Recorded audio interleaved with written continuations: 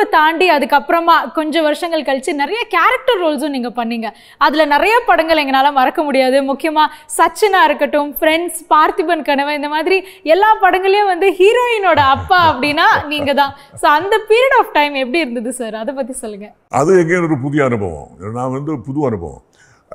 எனக்கு character rolls கிடைக்க ஆரம்பித்து பெரும்பாலும் நான் பண்ண பெரும்பாலும் தமிழ் படங்கள் தான் மலையாளத்தில் எனக்கு நான் மலையாளத்தில் பெரும்பாலும் எல்லாமே வந்து ஹீரோ படங்கள் தான் பண்ணேன். ஹீரோவாக தான் பண்ணேன்.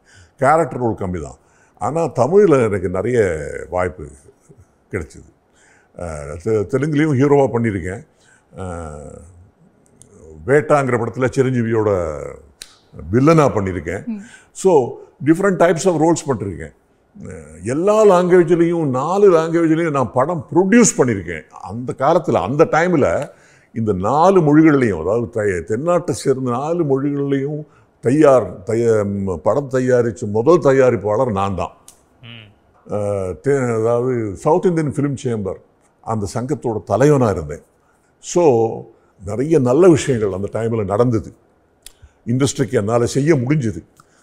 ஒரே ஒரு விஷயம் மட்டும் சொல்ல விரும்புகிறேன் தாதா சாஹப் பால்கே அவார்டு. அது வரைக்கும் வந்து கிடை இருபது இருபத்தொம்பது பேருக்கு கிடைச்சிருந்தது. அது இருபத்தாறு பேர் எல்லாமே பாம்பையை சேர்ந்தவங்க. மும்பை இண்டஸ்ட்ரியை சேர்ந்தவங்க. அதை மாற்றினதுக்கு ஒரு காரணம் நான். இதை நான் சொல்ல விரும்புகிறேன் தென்னாட்டு அதாவது சவுத் இந்தியன் ஃபிலிம் சேம்பரோட பிரசிடெண்ட்டாக இருக்கும்போது பல தடவை போய் டெல்லிக்கு போகும்போதெல்லாம் அங்கே போய் மினிஸ்டரை சந்தித்து அவங்களுக்கு ரெப்ரசன்டேஷன் கொடுத்து இது பண்ணது தவறு இது மாற்றணும் நீங்கள் மாற்றி தென்னாட்டிலிருந்து நிறைய பேருக்கு இதனால கிடைக்காம போயிடுச்சு. முதல்ல நான் சொன்னது எனக்கு முதல் முதல்ல இந்த அவார்டு வந்து நீங்கள் முதல்ல ஓகே தேவிகா ராணிக்கு கொடுத்தீங்க. பரவாயில்ல. எம்எஸ் சுப்புலட்சுமி கொடுத்துருக்கணும். ஏவிஎம் செட்டியாருக்கு கொடுத்துருக்கணும்.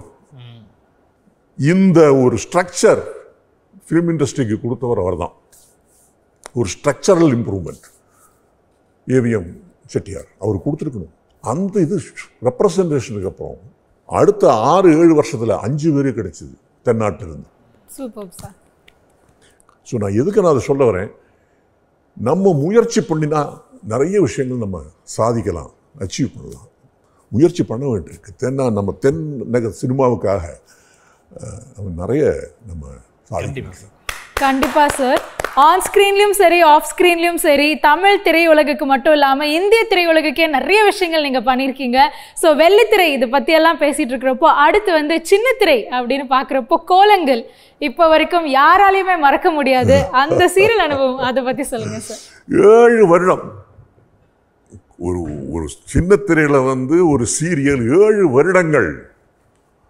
கண்டினியூஸாக போகிறது முதல்ல முதல்ல கோலங்கள் தான் நினைக்கிறேன். அந்த டைமில் கூட நிறைய பேர் வந்து மற்ற விஷயங்கள்லாம் மறந்துடுவாங்க. எங்கேயாவது பார் வர்றா கோலங்கள் மோகன்? அப்படின்னு சொல்லுவாங்க.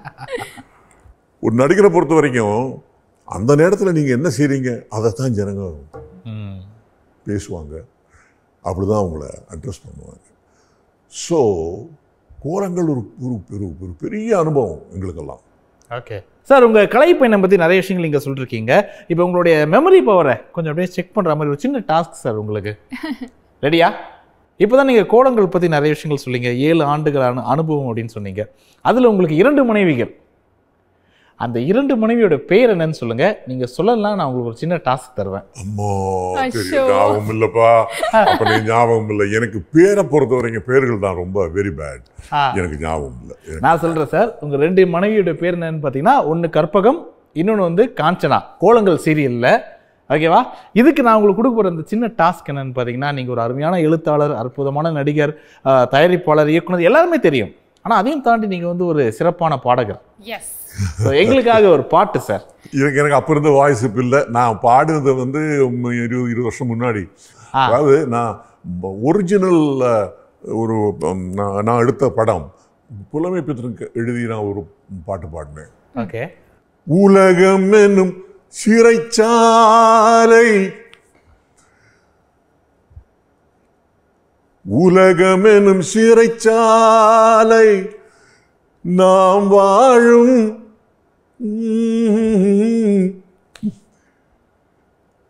ஜனனம் எனும் ஒன்றுதான் மரணம் எனும் ஒன்றுதான்.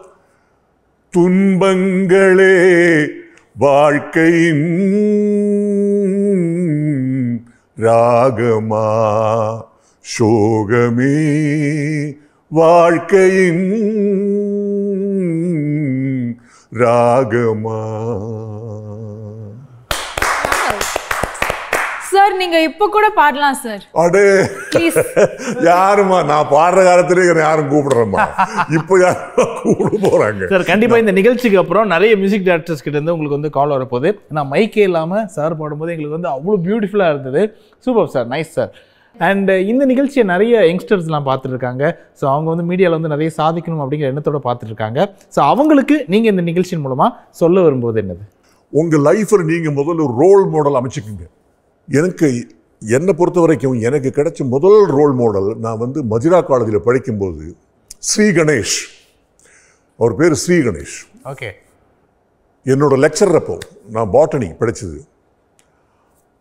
ஐயா தான் எனக்கு ரோல் மாடல் அது நான் வந்து ஓப்பனாக சொல்கிறேன் அவர் வந்து என்னை கொண்டு நடத்தி என்னை வந்து வழிகாட்டி என்னோட மென்டார் என்னோட ஃப்ரெண்ட் எல்லாமே அவர் தான் அந்த நேரத்தில் இந்த பியர் ப்ரெஷர்னால் நம்ம வந்து நிறைய இந்த தவறான வழிக்கு போகக்கூடிய நேரம்.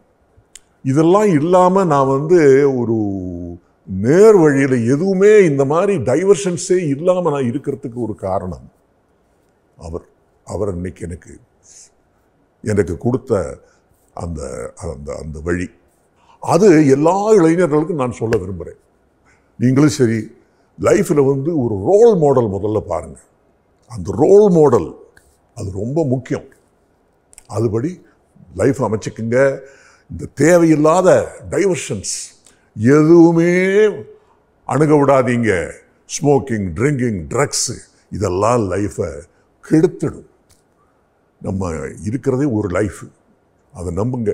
இந்த லைஃப் நல்லா இருக்கணும்னா இதெல்லாம் செய்யாதீங்க. இதுக்கெல்லாம் பக்கமே போகக்கூடாது.